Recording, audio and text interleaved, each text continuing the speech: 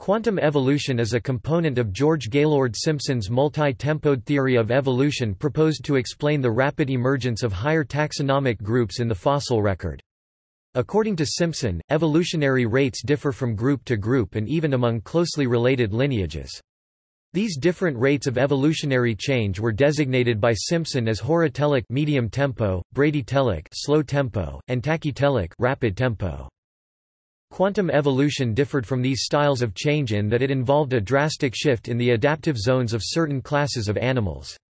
The word quantum therefore refers to an all or none reaction, where transitional forms are particularly unstable, and thereby perish rapidly and completely.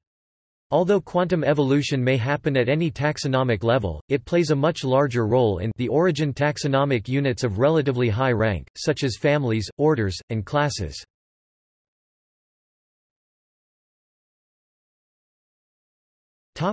Quantum evolution in plants Usage of the phrase, quantum evolution, in plants was apparently first articulated by Vern Grant in 1963 pp. 458 to 459. He cited an earlier 1958 paper by Harlan Lewis and Peter H. Raven, wherein Grant asserted that Lewis and Raven gave a «parallel» definition of quantum evolution as defined by Simpson. Lewis and Raven postulated that species in the genus Clarkia had a mode of speciation that resulted less than pre greater than slash pre greater than dot dot dot as a consequence of a rapid reorganization of the chromosomes due to the presence, at some time, of a genotype conducive to extensive chromosome breakage. A similar mode of origin by rapid reorganization of the chromosomes is suggested for the derivation of other species of Clarkia. In all of these examples the derivative populations grow adjacent to the parental species, which they resemble closely in morphology, but from which they are reproductively isolated because of multiple structural differences in their chromosomes. The spatial relationship of each parental species and its derivative suggests that differentiation has been recent. The repeated occurrence of the same pattern of differentiation in Clarkia suggests that a rapid reorganization of chromosomes has been an important mode of evolution in the genus. This rapid reorganization of the chromosomes is comparable to the systemic mutations proposed by Goldschmidt as a mechanism of macroevolution. In Clarkia, we have not observed marked changes in physiology and pattern of development that could be described as macroevolution. Reorganization of the genomes may, however, set the stage for subsequent evolution along a very different course from that of the ancestral populations. Harlan Lewis refined this concept in a 1962 paper where he coined the term catastrophic speciation to describe this mode of speciation, since he theorized that the reductions in population size and consequent inbreeding that led to chromosomal rearrangements occurred in small populations that were subject to severe drought.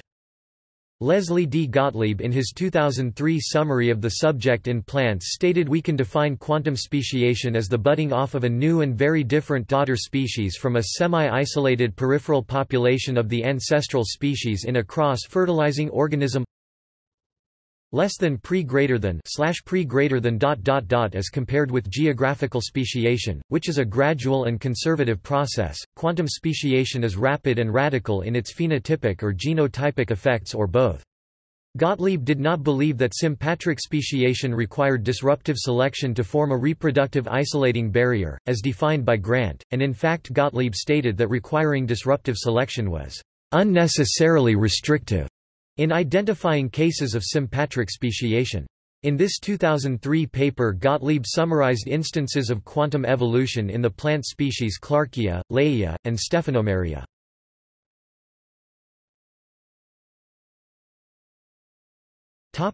Mechanisms According to Simpson 1944, quantum evolution resulted from Sewall-Wright's model of random genetic drift. Simpson believed that major evolutionary transitions would arise when small populations, that were isolated and limited from gene flow, would fixate upon unusual gene combinations. This an adaptive phase caused by genetic drift would then by natural selection drive a deme population from one stable adaptive peak to another on the adaptive fitness landscape. However, in his Major Features of Evolution 1953, Simpson wrote that this mechanism was still controversial. Whether prospective adaptation as prelude to quantum evolution arises adaptively or inadaptively. It was concluded above that it usually arises adaptively. The precise role of, say, genetic drift in this process thus is largely speculative at present. It may have an essential part or none. It surely is not involved in all cases of quantum evolution, but there is a strong possibility that it is often involved. If or when it is involved, it is an initiating mechanism. Drift can only rarely, and only for lower categories, have completed the transition to a new adaptive zone. This preference for adaptive over inadaptive forces led Stephen Jay Gould to call attention to the hardening of the modern synthesis a trend in the 1950s where adaptationism took precedence over the pluralism of mechanisms common in the 1930s and 40s. Simpson considered quantum evolution his crowning achievement, being perhaps the most important outcome of my investigation, but also the most controversial and hypothetical.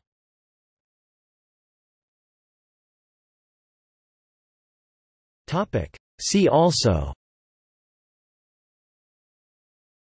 Environmental niche modeling Mutationism Punctuated equilibrium Quantum speciation Rapid modes of evolution Shifting balance theory Sympatric speciation